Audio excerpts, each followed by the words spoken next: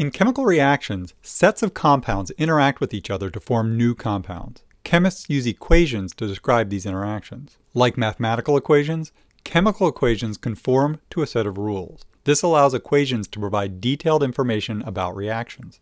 A chemical equation can be thought of as a recipe for making a set of chemical compounds using other compounds as starting material. A properly formed chemical equation contains the molecules transformed by the reaction on the left side of the equation, these are the reactants. The molecules formed by the reaction on the right side of the equation. These are the products. An arrow separates reactants from products. In reactions with more than one reactant or product, plus signs separate the individual products and reactants from each other. Numbers in front of each compound specify how many moles of each is required to convert all of the reactants to products. In order to be a complete, properly written, balanced equation, the number of atoms of each element present in the reactants needs to equal the number present in the products. The process of determining the proper number of each compound is called balancing the equation.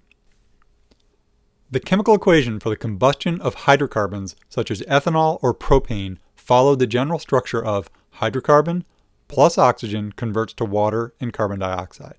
The hydrocarbon and oxygen are reactants, water and carbon dioxide are products. For an equation showing the combustion of a hydrocarbon to be balanced, the number of carbon atoms in the reactants must equal the number in the products. The number of hydrogen atoms in the reactants must equal the number of hydrogens in the products. And the same for oxygen.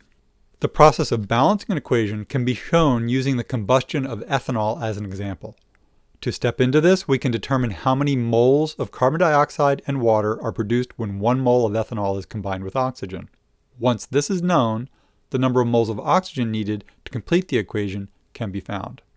An ethanol molecule contains six hydrogen and two carbon atoms. A carbon dioxide molecule contains one carbon atom, so converting all of the carbon in ethanol to carbon dioxide produces two molecules of carbon dioxide. Water molecules contain two hydrogen atoms each, so the six hydrogens in ethanol are incorporated into three water molecules. There are now the same number of carbon and hydrogen atoms on either side of the equation. Of course, the addition of water and carbon dioxide as products added oxygen atoms. And there are now too many oxygen atoms on the product side of the equation, so oxygen molecules need to be added as reactants to provide the atoms present in the products. Before the addition of any oxygen molecules, there are seven oxygen atoms in the products and one in the reactant, which means six more need to be added. Since there are two oxygen atoms in each molecule of oxygen, three molecules will provide the number of oxygen atoms needed to balance the equation.